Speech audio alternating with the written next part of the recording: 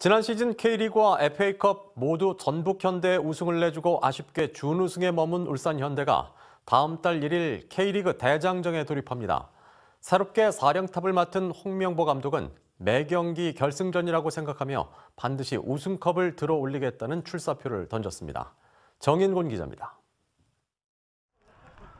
비바람이 몰아치는 날씨 속 프로축구 울산현대 선수들이 손발을 맞추기 시작합니다.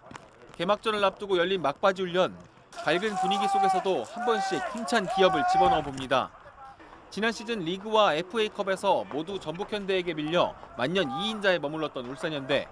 절치부심한 이번 시즌 홍명보 감독이 새로운 사령탑으로 부임하며 우승 각오를 다지고 있습니다. 중요한 거는 매 경기 몇 경기가 결승전이죠.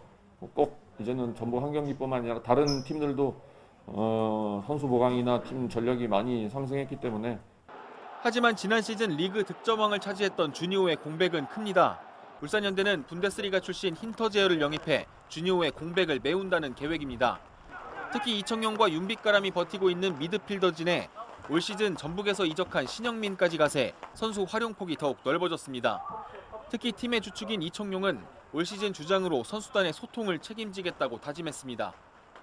개선해 나가야 된다고 생각했던 부분이 어, 소통 부분인데 좀 아직까지는 코칭 스태프 그리고 선수들 간의 소통이 어느 때보다 더 잘 되고 있고요. 또 지난 시즌 코로나19 여파로 관중 입장 홈 경기를 단 두 번밖에 치르지 못했지만 이번 개막전에는 30%인 8천여 명의 관중과 함께할 예정입니다. 2002년 월드컵 영웅인 홍명보 감독과 이영표 강원FC 사장이 맞붙어 더욱 흥미진진한 울산현대의 올 시즌 첫 경기. 울산현대의 이번 시즌 K리그 개막전은 오는 3월 1일 오후 2시 울산 문수 월드컵 경기장에서 펼쳐집니다. MBC 뉴스 정인곤입니다.